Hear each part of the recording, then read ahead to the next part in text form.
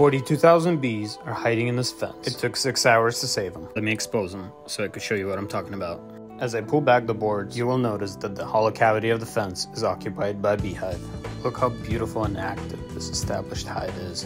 Wouldn't you agree? After exposing the hive, I started to remove a layer of bees that was covering the honeycomb. Bees are collected with pressure regulated vacuum. They are not harmed, and I will show them at the end. After collecting the bees on the outside, I was able to see 9 pieces of honeycomb.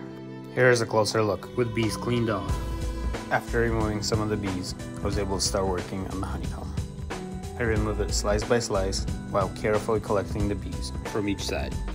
Now that you know the size of the hive, take a look and see what was visible before the opening.